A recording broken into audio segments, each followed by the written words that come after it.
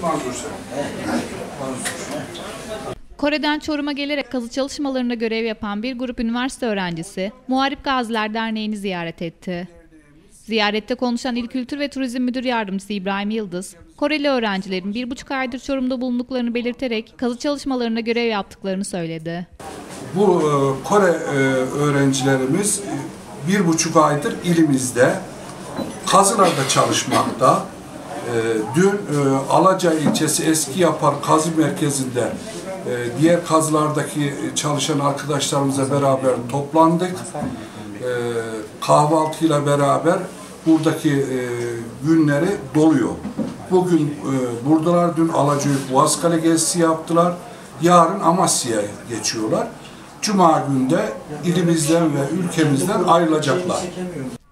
Çorum'daki sürelerinde olması nedeniyle Cuma günü Çorum'dan ayrılacak olan öğrencilerin Kore gazilerine şükranlarını arz etmek için ziyarete geldiklerini söyledi.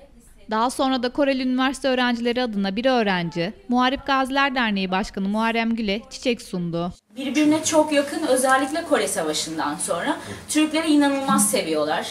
Türklere inanılmaz saygıları var. Ee, Türk kültürüne de inanılmaz saygıları var ve özellikle bu e, savaştan sonra da gelişen Türk kült kü- e, Türk e, ve Kore ilişkileri e, son derece önemsiyorlar ve hepsi tekrar tekrar gelmek istiyor. Mesela gidecek olanların bir bölümü Eylül'de, Ekim'de tekrar aileleriyle beraber gelmek istiyorlar ve bizim de inanılmaz derecede güzel bir reklamımızı yapıyorlar Kore'de ve herkesin de buraya gelmesini istiyorlar.